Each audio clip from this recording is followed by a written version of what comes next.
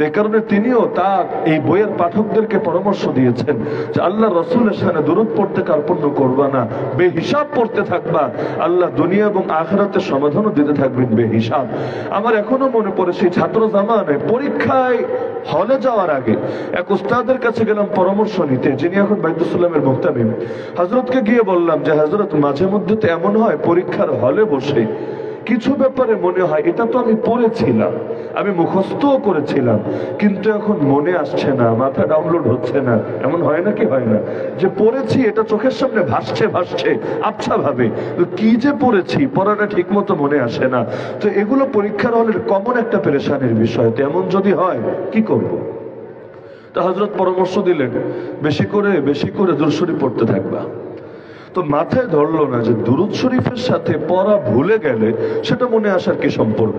হ্যাঁ যদি ইস্তেকফার পড়তে বলতেন আস্তাক ফেরুল্লাহ আস্তাক ফেরুল্লাহ আস্তাক ফেরুল্লাহ তাও বুঝে ধরে যে মানুষ ভুলে যায় গুনাহের কারণে আর ইস্তেকফার করলে আল্লাহ তার গুণা যেহেতু ক্ষমা করে দেন, সুতরাং জিনিসটা মনে আসতে পারে, এটা বুঝে ধরে। আবার যদি বিভিন্ন দোয়া বলতেন, যেমন, রব্বি জিদিনি ইলমা, রব্বি ইয়াসসির ওয়ালা তুআসসির ওয়া তাম্মিম আলাইনা বিল খায়র সুবহানাকা লা ইলমা লানা ইল্লা মা 'আল্লামতানা ইত্যাদি বললে তাও বুঝে ধরতো, অথবা আল্লাহর হাওয়ালা করার যে দোয়াগুলো আছে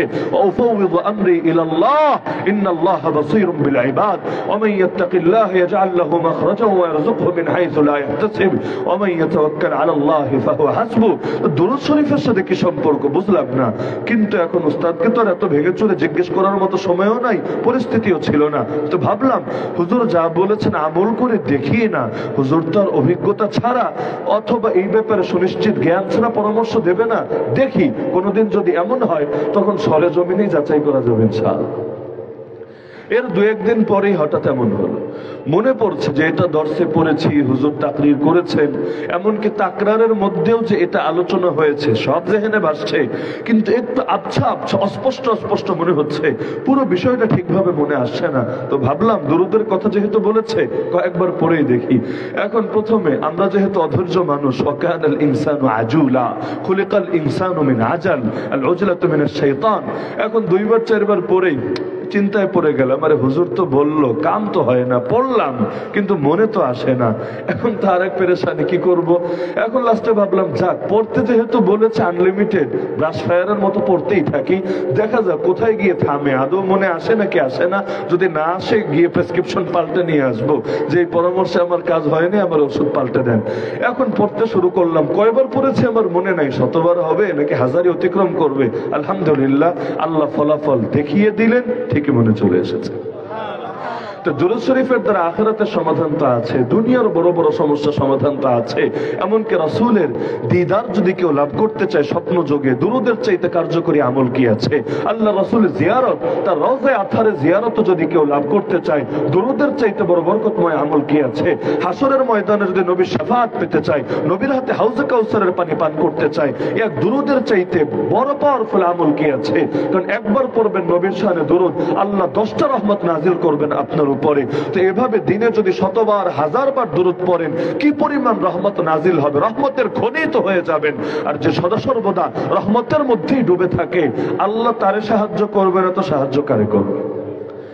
এমনকি এই দূরটা আগে ছোটবেলা থেকে পড়ে এসেছি জাস্ট বরকতের বাক্য হিসাবে। সাল্লাহ আলী সাল্লাহ আলিহি মানে কি? সলাতের শাব্দিক অর্থ আমাদের সমাজে প্রচলিত অর্থ বা সাধারণ শরী পারিভাষিক অর্থ হলো নামাজ। কিন্তু সাল্লাহ আলহি অর্থ কি? যে আল্লাহ নবীর উপরে নামাজ পড়েন? নাহজুবিল্লাহ এ অর্থ তো সম্ভব না। আমাদের অনেক বাংলাদেশে অনেক সময় বয়ান করতে গিয়ে এই বয়ানও কেউ কেউ করে ফেলে। ইন্নাল্লাহ ইয়া নিশ্চয়ই আল্লাহ দুরূদ পড়েন নবীর উপরে, ফেরেশতারাও দুরূদ পড়ে নবীর উপরে হে মুমিনরা, তোমরা পিছায় থাকবা কোন দুঃখে? তোমরাও দুরুদ পড়ো আর সালাম পেশ করো নবীর শানে। এই বয়ান শুনেছেন নাকি শোনেন নাই? আচ্ছা দুরুদ পড়া মানে কি? দুরুদ পড়া মানে হলো রহমত বর্ষণের দোয়া করা। মাথায় রাখবেন, দুরুদ পড়া মানে কি? অনেক বাংলা বইয়ে দেখবেন, মোহাম্মদ লেখা ব্রাকেটের মধ্যে লেখে দোয়া দোয়া লেখা একটা ফোঁটা বা দুইটা ফোঁটা দেয়। ছোটবেলায় বুঝতাম না, দোয়া মানি আবার এখানে কি? কারণ অনেক কিছু না জানলে তো বুঝে আসে না। বড় বড় হুজুরদের নামের শেষে ব্রাকেটে দা ডট বা ডট লেখে না। অনেকে এটা বুঝে না হুজুর কি দাবা খেলে? নাকি এখানে দাবা আসলো কিসের জন্য? কিন্তু এখানে দাবা তো দাবা না। এখানে দাবা মানি দামাত বারাকাত হুম তার বরকটটা দীর্ঘস্থায়ী হোক। একইভাবে নামের শেষে লেখে হাফি ডট। অনেকে বোঝে হাফি ডট, হাফি মানে তো খালি পায়ে যে থাকে, পা আর খালি। তো এখন হুজুরের কি পায়ে জোতা নেই নাকি? অ্যাপেক্স বাটা কিছু কেনে নাই? এই অর্থে। কিন্তু না, বিস্তারিত জানলে বোঝে, এখানে হাফি মানে হাফি না হাফি মানে হাফিজাহুল্লাহ এর সংক্ষেপ। তো অনেক সময় অল্প জিনিস দিয়েও বড় জিনিস মানুষে বোঝায়। মোহাম্মদ কেউ সংক্ষেপে লেখে, মাওলানা কেউ সংক্ষেপে লেখে। তো এখন দুরুদ পড়া, এটা মানে হলো আল্লাহর কাছে রহমত বর্ষণের দোয়া করে। এটা সাল্লাল্লাহু আলাইহি ওয়াসাল্লাম এ বাক্য দিয়েই করুক। আল্লাহ সাল্লি আলা মোহাম্মদ আলা আলি মুহাম্মাদ, যেটা নামাজের মধ্যে পড়েন লম্বা বাক্য এর দ্বারাই হোক যে কোনো ভাবে বলা যে আল্লাহ রহমত নাজিল করেন নবীর উপরে ইমাম বুখারী রাহমাতুল্লাহ আলাইহি লেখেন قال ابو العاليه الصلاه من الله الرحمه ومن الملائكه الاستغفار ومن المؤمنين الدعاء এই সালাত শব্দ আমাদের সামনে ব্যবহার করলে তো এটাই অর্থ হয় যে রহমত বর্ষণের দোয়া করা কিন্তু আল্লাহর সামনে ব্যবহার করলে অর্থ এটা হয় না রহমত বর্ষণের দোয়া করা কারণ আল্লাহ আবার দোয়া করবে কার কাছে আল্লাহর উপরে কি আর কেউ আছে? আরে আছে নাকি? তো যদি বলে আল্লাহ দূরত পড়ে নাওজবিল্লাহ তার মানে আল্লাহ রহমত বর্ষণের দোয়া করে। আল্লাহ কি আবার বলবে? আল্লাহ সাল্লি আলা মুহাম্মদ। নাওজবিল্লাহ এটা তো সম্ভব না। তো আল্লাহ দূরত পড়ে মানে কি? তো শব্দটাই তো ভুল। শব্দের অর্থ হলো আল্লাহ রহমত নাজিল করেন রসুলের উপরে। ফেরেশতারা ক্ষমা প্রার্থনা করে রসুলের জন্য। আর হে মুমিনরা, তোমরা রহমত বর্ষণের দোয়া করো রসুলের জন্য। এই হলো সংক্ষিপ্ত অর্থ। তো এখন ছোটবেলা থেকে জেলে যাওয়ার আগ পর্যন্ত আমার মনে পড়ে, এই আবেগ নিয়ে পড়েছি যেটা রহমত বর্ষণের দোয়া, শান্তি বর্ষণের দোয়া। সাল্লাহ আলাইহি আল্লাহ রহমত নাজিল করুন নবীর উপরে ওয়াসাল্লাম এবং শান্তি, নিরাপত্তা, মুক্তি, সালাম শব্দের অর্থ ব্যাপক। এই সব কিছু নাজিল করুক রসুলের উপরে। তো কারাগারে গিয়ে হঠাৎ করে একটা বই পেয়ে গেলাম হাতে, সেখানে পড়তে পড়তে আরবি। হাফিজ ইবনে হাজার আসকালানি। তখন পড়তে পড়তে এক জায়গায় গিয়ে দেখলাম সুবহান আল্লাহ মাত্র কয়েক লাইনের মধ্যে দুরুদের পুরো মাহাত্মটাই ফুটিয়ে উঠেছে। যে দুরুদ এত দামি কিসের জন্য? কারণ সাল্লাল্লাহু আলাইহি ওয়াসাল্লাম এর মূল অর্থই হলো আল্লাহ আযিম মুহাম্মাদা। হে আল্লাহ, মোহাম্মদ সাল্লাল্লাহু আলাইহি ওয়াসাল্লামকে আপনি সম্মানিত করেন। আয় আল্লাহ, আপনি তাকে তাজিম করেন, আপনি তাকে আজমত ওয়ালা বানায় দেন। আয় আল্লাহ, আপনি তাকে শ্রদ্ধার আসনে আসীন করে দেন। তো তিনি ব্যাখ্যা করেছেন যে সাল্লাল্লাহু আলাইহি ওয়াসাল্লামের মধ্যে যদি এই দোয়া থাকে যে আল্লাহ নবীকে আজমত দেন, নবীকে মাহাত্ম দেন নবীকে মহিমা দেন, নবীকে সম্মান দেন, নবীকে মর্যাদা দেন। তার মানে এক বাক্যের মধ্যেই লুকিয়ে আছে অনেক কথা। এক নম্বরে, জমিনের মধ্যে নবীর শরীয়ত যদি জিন্দা থাকে, এতে নবীর সম্মান বাড়ে? নাকি যদি নবীর শরীয়তকে লোকে মুর্দা বানিয়ে ছাড়ে, এতে মর্যাদা বাড়ে? কি ধারণা আপনাদের? জিন্দা হলে মর্যাদা বাড়বে না মুর্দা হলে মর্যাদা বাড়বে? যেমন আপনি যে নেতাকে শ্রদ্ধা করেন, সেই নেতা যদি ক্ষমতায় থাকে, এতে তার সম্মান বেশি থাকে, নাকি মাইনকে চিপায় পয়রা জানের রিস্ক নিয়ে দৌড়ানোর উপরে থাকলে তার ইজ্জত বাড়ে? এটা নিজেও বুঝেন। তো আল্লাহ রসুল সাল্লাহ ইসলামের ইজ্জত, আজমত তখন বাড়বে যখন তার রেখে যাওয়া আমানত, দিন এবং শরিয়াত জমিনের বুকে জিন্দা হবে। আল্লাহর কালিমা সমুন্নত থাকবে আল্লাহর জমিনে। একটাই তো আল্লাহর রাসূল সাল্লাল্লাহু আলাইহি আজমত বাড়বে। তো সাল্লাল্লাহু আলাইহি ওয়াসাল্লাম এই বাক্যের মধ্যে দিন বিজয়ের দোয়াও লুকিয়ে আছে। কারণ দিন যত বিজয়ী হবে, দুনিয়ার মধ্যে রাসূলের সম্মান, মর্যাদা তত বাড়বে, মানুষের মুখে মুখে রাসূলের আলোচনাও তত বৃদ্ধি পাবে, এমনকি আজানে ইকামতে, সবকিছুতে। আরে যেখানেই আল্লাহর নাম, সেখানেই তো রাসূলের নামটাও আল্লাহর নামের পরে পরেই উচ্চারিত হবে। আশহাদু আল্লাহ ইলাহ ইল্লাল্লাহ এর পরে গিয়ে বলেন আল্লাহ রসুলের নামে শাহাদাত। হাসান বিন সাবিত রাদিয়াল্লাহু আনহু বলেন আগারু আলাইহি লিন-নবুওয়াতি খাতামু মিন আল্লাহ মাশহুদুন ইয়ালুহু ওয়া ইউশহাদু وضم الإله اسم النبي إلى اسمه إذا قال في الخمس المؤذن أشهد وشق له من اسمه ليجله فذو العرش محمود وهذا محمد نبي أتانا بعد يأس وفترة من الرسل والأوثان في الأرض تعبد فأمسى سراجا مستنيرا وهاديا ইয়ালুহু কামা লাহা সাকিলুল মুহান্নাদু। এর মধ্যে এই বাক্যটাও তিনি উঠিয়ে এনেছেন যে আল্লাহ তার নামের সঙ্গে রাসূলের নামকে মিলিয়ে দিয়েছেন। এজন্য মুআদ্দিন আশহাদু বলে যখন আল্লাহর নাম টানে, এর পরক্ষণেই আশহাদু বলে রাসূলের নামটাও টানা লাগে। এজন্যই তো মক্কাবাসীরা, সেই কুরাইশ নেতারা আল্লাহ রসুল সাল্লাহ সাল্লামের সামনে বলতো بتر محمد دعوا محمدا واصحابه فانه رجل ابتر لا عقب له فاذا هلك انقطع ذكره আরে মোহাম্মদের তো লেজ কাটা নাউযুবিল্লাহ তারা বলতো মোহাম্মদ নিয়ে টেনশন করো না তার সাহাবীদেরকেও নিয়ে টেনশন করো না সে নির্বংশ তার কোনো বংশই নাই একবার যদি সে দুনিয়া থেকে চলে যায় তার নাম নেওয়ারও কেউ থাকবে না নাউযুবিল্লাহ আল্লাহ জানিয়ে দিলেন হে নবী ওয়ারাফা'না লাকা যিকরাক আমি আপনার জিকিরকে আপনার আলোচনাকে আপনার স্মরণকে নিজেই সমুন্নত করে দিয়েছি। আপনি হারাবেন না। আপনার দুশ্মন যারা ওরাই হবে লেজকাটা ওরাই হবে নির্বংশ। আপনাকে যারা নিভাতে আসবে, ওদের বংশের প্রদীপে নিভে যাবে। কিন্তু আপনি নিভবেন না। কেয়ামত পর্যন্ত আপনার স্মরণ দুনিয়ার বুকে জিন্দা থাকবে। তো সাল্লাহ ইসলামের মধ্যে ইসলাম জিন্দা হওয়ার দোয়া আছে। সাল্লাহ ইসলামের মধ্যে রাসূলের ইজ্জত, হেফাজতের দোয়া আছে। বলবেন কীভাবে? কারণ নবীকে যদি গালিগালাজ করা হয় দুনিয়ার বুকে, এতে না, বরঞ্চ যদি গালি গালিগালাজ মুক্ত থাকে, তাতেই না নবীর আজমত বাড়ে। ইমাম মালিক রহমতুল্লাহ জামানায় এক লোক গালিগালাজ করে বসল আল্লাহ রসুলকে। খলিফার সামনে থেকে গ্রেফতার করে হাজির করা হলো। এখন খলিফা কি বিচার করবেন? নিয়ম হলো যে খলিফা হবে নিজেই আলেম হবে। যদি না হয়, আলেমদের থেকে ফতোয়া নিয়ে নিয়ে, পরামর্শ নিয়ে নিয়ে দেশ চালাবে। আর যদি দুটোর কোনোটাই না হয়, তাহলে নিজেও গোমরা হবে, জাতিকেও গোমরা বানিয়ে ছাড়বে। কারণ শরীয়ত কি বলেছে, এটা বুঝতে চাইলে বাইরে কোনো সুরাত নাই। হয়তো নিজে আইলেম ওয়ালা হবে, তাহলে নিজেই সমাধান দিতে পারবে। আর যদি নিজে আইলেম ওয়ালা না হয়, কোরআনের আদেশ যদি তোমাদের ইলম না থাকে, যাদের কাছে ইলম আছে তাদেরকে জিজ্ঞেস করো আর দুটোর কোনোটা না হলে আজকের দুনিয়ার মতো পরিস্থিতি হবে। খালি শান্তি শান্তি শান্তি, সবাই শান্তির পেছনে ছুটে বেড়াবে। শান্তি আর কোথাও খুঁজে পাবে না, কারণ সেকুলারিজমের মধ্যে শান্তি নাই, ডেমোক্রেসির মধ্যে শান্তি নাই, ইউরোপ, আমেরিকার বানানো মতবাদের মধ্যে শান্তি নাই, আর ইসরায়েল, আমেরিকা, চায়না, ইন্ডিয়া জাতিসংঘের হাতেই তো শান্তি নাই। শান্তির মালিক আল্লাহ, রহমতের মালিক আল্লাহ, বরকতের মালিক আল্লাহ, ন্যায়ের মালিক আল্লাহ, কল্যাণের মালিক আল্লাহ, সবকিছুর মালিক আল্লাহ। আল্লাহ ইলাহা আল্লাহর একটা নামই কাইয়ুম। কাইয়ুম তাকে বলা হয় যিনি সবকিছু নিয়ন্ত্রণ করেন। তো সবকিছু নিয়ন্ত্রণ যদি আল্লাহর হাতে থাকে, শান্তি পেতে চাইলে আগে তাকে তো রাজি করতে হবে। আর আল্লাহকে রাজি করা সম্ভবই না, এলেমের চর্চা না করলে। তো খালিফা এক মুফতি সাহেবের কাছে জিজ্ঞেস করল, হুজুর, এখন করণীয় কি?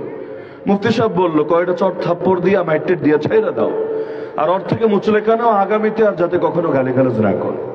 আর মুফতি তো ফতোয়া দিল। কিন্তু খলিফার কাছেও বিশ্বাস হচ্ছিল না। রে কি বলে? নবীর ইজ্জত এতই হালকা এতই ঠুনকো বিষয় যেখানে নেতারে গালি দিলেই জিন্দিগি তেজপাতা বানায় ছাড়ে, সেখানে নবীরে গালি দিবে, কয়টা চর থাপ্পর মায়ের দিয়ে ছেড়ে দিলেই চলবে। না, এটা তো আমার আকলে ধরে না। এবার ফতোয়া জিজ্ঞেস করল মদিনার ইমাম ইমাম মুদারিল হিজরা, ইমাম মালিক রহমতুল্লাহ আলাইহিকে তিনি শুনেই রাগে অগ্নিশর্মা হয়ে বললেন, আরে ফতোয়া পরে, আগে বলো, মা বাকাউল উম্মতি বাদা শাতমি নাবিয়্যিহা নবীকেই যদি গালিগালাজ করা হয় উম্মতের বেঁচে থাকার কি অর্থ হতে পারে? এরপর ঐতিহাসিক ফতোয়া, মান শাতামাল আম্বিয়া কুতিলা যারাই বেয়াদবি করবে নবীদের সামনে, তাদের শাস্তি একটাই, তাদেরকে মৃত্যুদণ্ডে দণ্ডিত করা হবেই হবে। তো এখন সাল্লাহ ইসলামের মধ্যে এই এক বাক্যের মধ্যে আল্লাহ রসুলের ইজ্জত, হেফাজতের দোয়া আছে। তিন নম্বরে, নবীর উম্মত, হেফাজতের দোয়া আছে। কারণ আল্লাহ রসুল নিজেকে নিয়ে যতটা ভাবেন, তার চাইতে উম্মতকে নিয়ে কম ভাবেন না বেশি ভাবেন। কোরআন বলছে ফালা বাখিউন নাফসাকা আলা ইল্লাম ইউমিনু বিহাদাল আসাফা। মনে হচ্ছে এই লোকগুলো এই দুঃখে। আফসোস করতে করতে আপনি নিজেকে শেষই করে ফেলবেন। এত পেরেশান পেরেশানি কইরেন না, ওমা আলার রাসূল ইল্লাল বালাগুল মুবিন। রাসূলের দায়িত্ব সুস্পষ্ট ভাবে পৌঁছে দেওয়া, লাস্তা আলাইহিম বিমুসাইতির। আপনি দারোগা না, কে মানলো আর কে মানলো না, এটা আপনাকে জিজ্ঞাসা করা হবে না। লা ইয়াদুররুকুম মান ইযা ইহতাদাইতুম।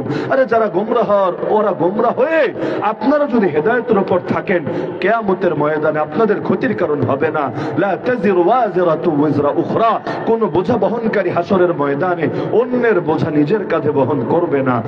লাইসা ইল্লা মা নিজে যা চেষ্টা করেছে তাই পাবে।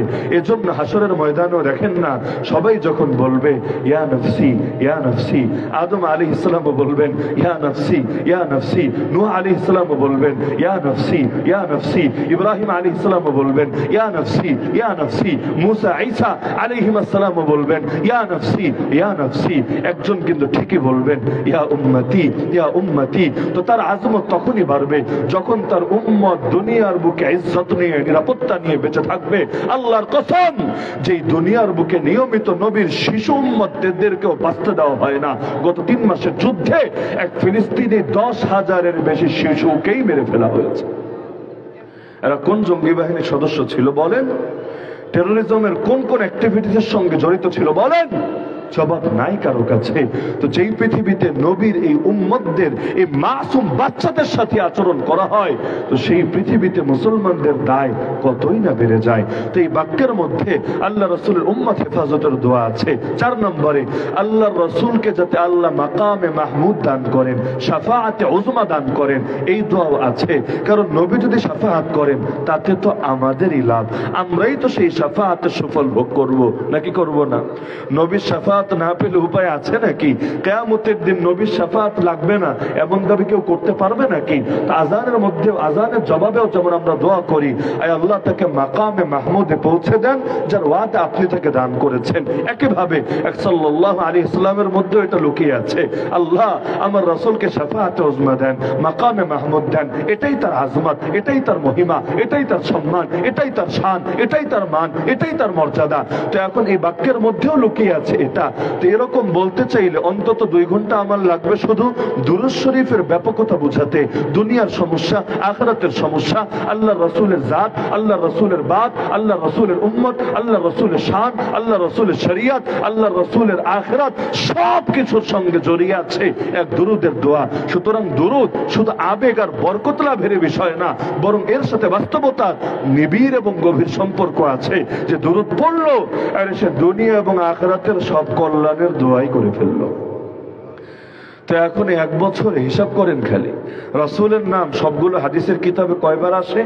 প্রত্যেকবার যদি খালি একবার দুরশরীফ পরে এতেই কি মাকামটা পেয়ে যায়? আরে, এই মানুষগুলো, এই যে আজকে যে দোয়া হবে দোয়াটা এত দামি কেন বোঝেন না? কারণ দোয়ার শুরুতে যদি দূরত পড়ে, শেষে দূরত পড়ে, ওই দোয়া আল্লাহ ফিরায় না। একবার দুবার দূরত পড়লে যদি না ফিরায়, কয়েক লক্ষবার যে দূরত হলো, একজনেই তো লাখের উপরে পড়ে ফেলেছে।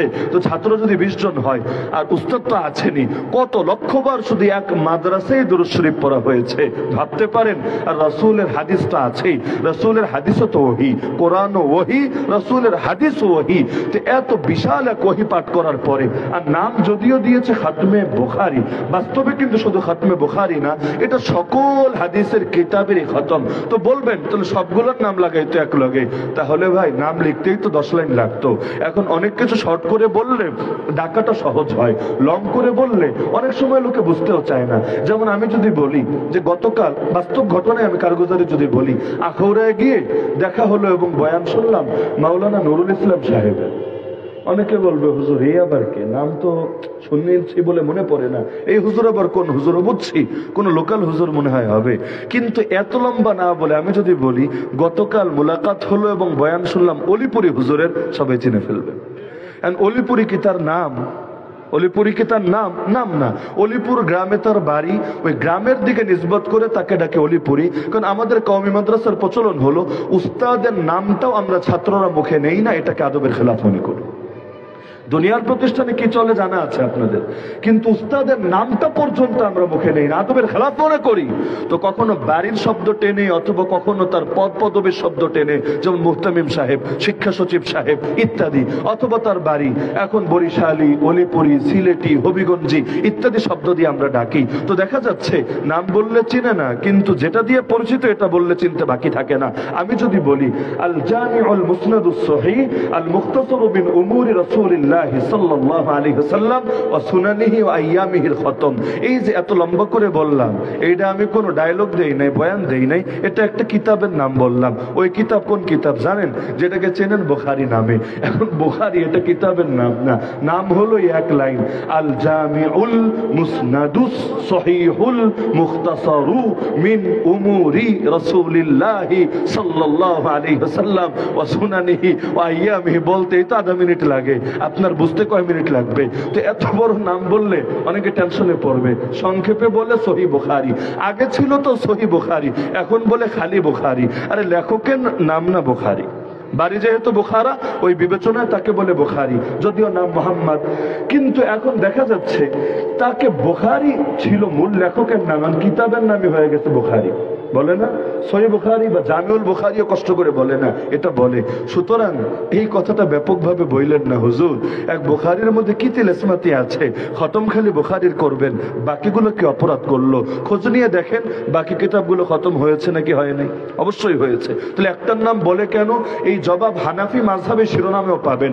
হানাফি মাঝহাব মানে কি? আবু হানিফার মাঝহাব কে বলেছে আপনাকে? তাহলে আবু ইউসুফ কি?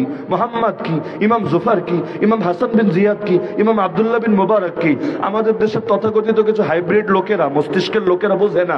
এরা বলে, তোরা মোহাম্মদ সাল্লাহ সাল্লামকে নবী না আমি না আবু হানিফার নবী মানিস। তোরা নামাজ মোহাম্মদ সাল্লাহ সাল্লামের সই হাদিসের আলোকে না পড়ে, আবু হানিফার ফতোয়ার আলোকে পড়িস। আরে বলো হানাফি মানেই আবু হানিফার আদর্শ না। না হলে এটা আমাকে খালি বুঝান।